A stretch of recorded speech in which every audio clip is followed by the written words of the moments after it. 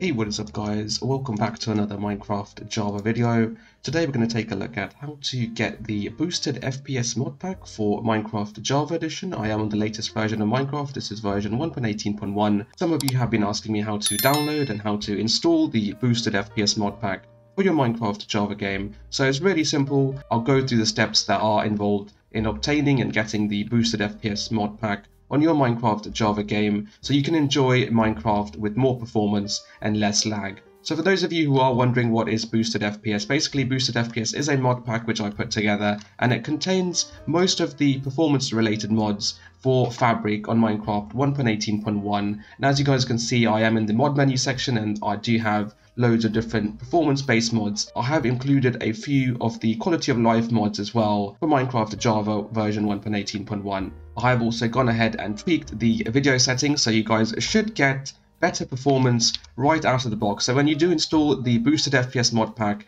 it should give you fairly good performance in your Minecraft Java game. It also has a cool loading screen, so let me just go ahead and show you guys. Let me just disable one of these resource packs. Take a look at this. This is really cool. I do like that loading screen. I did get this image from Pixabay, and it does show us some additional information on there as well. So let me go ahead and show you guys how to download and how to install the boosted FPS mod pack for your Minecraft Java game and how to get more FPS in Minecraft on version 1.18.1.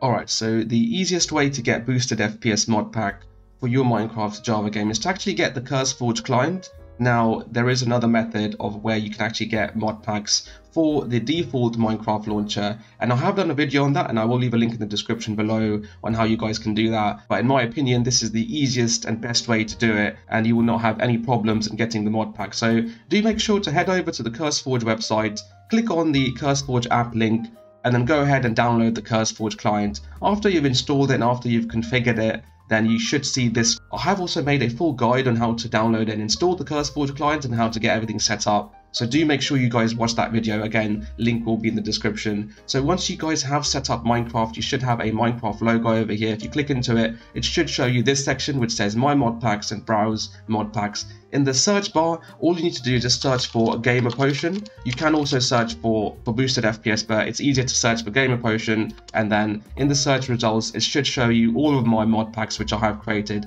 Do go ahead and check out some of the other mod packs which I have created from this section here do go ahead and click onto the boosted FPS mod pack section and as you guys can see you can read up about this and from this section you should be able to click on install which will then basically install the mod pack quite easily for your Minecraft Java game. So let's wait for that to finish and I'll be right back. Alright so once the CurseForge has finished installing the boosted FPS you should see a play button here. You can actually go back and click into my mod packs and then it should show you all of the different mod packs that you do have available. You can then click into the play icon over here which will then launch the Minecraft launcher and then you have to click on play again and that will finally load the game with the mod pack installed. So let's go ahead and load into the game now and let's see how it looks. Alright, so the game has loaded now. And as you guys can see it does say mods and it says 41 loaded and you can click into that and you should be able to configure some of the mods from this section by clicking into it and then clicking on the configure button over here. If you go into the video settings and options, you should be able to configure some of the settings for your video settings from this menu over here. You can also click on sodium video settings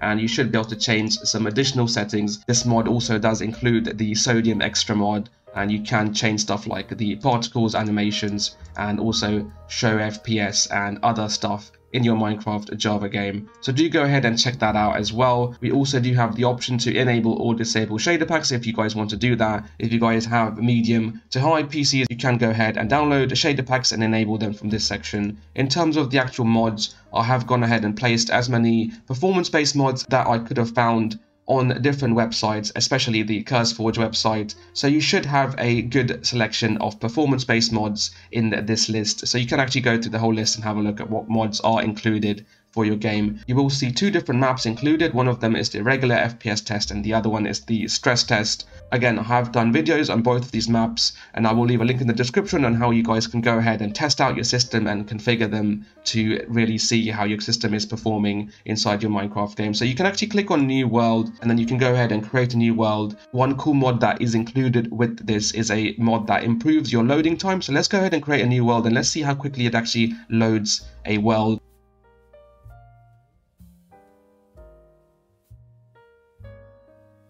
as you guys noticed, it did not wait for the 100% there because normally it would wait for 0 to 100%, but it just loaded it straight away. So that is a really cool mod if you guys don't like to wait for your worlds to load.